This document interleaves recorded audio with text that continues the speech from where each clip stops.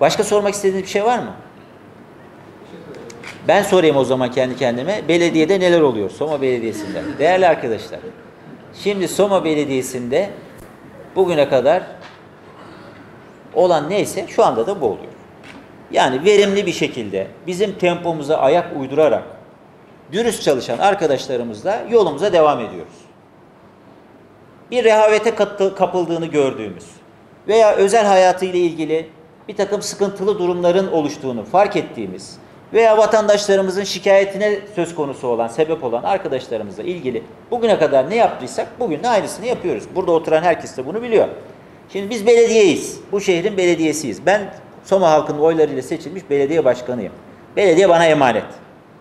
Ben bu emanet aldığım belediye ile halka hizmet etmeye çalışıyorum. Hizmetlerimi de öncelikle memur arkadaşlarla, belediye işçileriyle, daha sonra da sözleşmeli ve hizmet alımına çalıştırdığımız personellerimizle yürütüyoruz. Kalabalık bir kadromuz var. İçimizde de her çeşit insan var.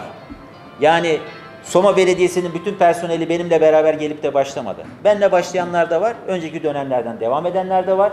Büyükşehir Belediye e, kanunuyla beraber kapanan belediyelerden bizim belediyemize gelen personellerimiz de var. 500-600 çalışanımız var. Yani 5-600 çalışanımız var. Dönem dönem yaz sezonunda daha da artıyor. Kışın biraz daha azalıyor. Şimdi bizim tempomuza ayak uyduran, çağdaş, şeffaf, katılımcı, dürüst çalışan arkadaşlarımızla elbette ki yolumuza devam edeceğiz. Hizmet üretmeye devam edeceğiz.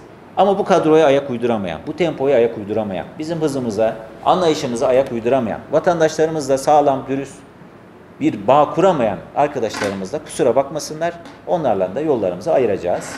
Geçmiş dönemde de iki tane müdür arkadaşla bu bağlamda yollarımızı ayırdık. Onlar bizden müsaade istediler. Birisi emekliye ayrıldı. Birisi de belediyedeki görevinden istifa etti. Yolunuz açık olsun dedik. Dostça ayrıldık. Yani bunda büyütülecek bir şey yok.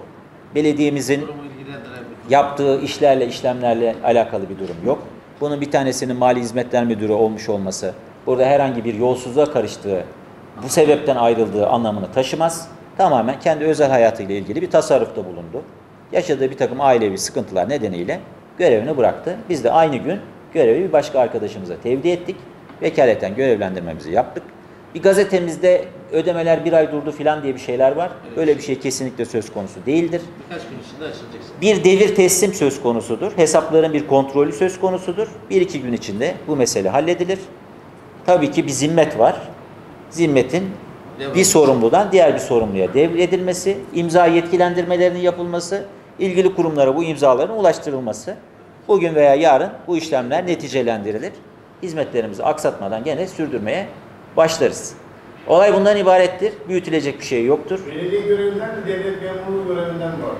hem belediyedeki görev memuriyetten çekildi. Yani devlet memurlarına e, evet bir kanun var. O kanuna göre ilgili yasa maddesine göre memuriyetten çekildiğini bu arkadaşımız dilekçeyle bize bildirdi. Aynı gün ayrıldı. Biz de kabul ettik ve yerine yeni bir görevlendirme yaptık. Görevlendiren arkadaş da şu anda görevini devralıyor. Olay bu. Şey söylemeye gerek var. Onu da sen söyle.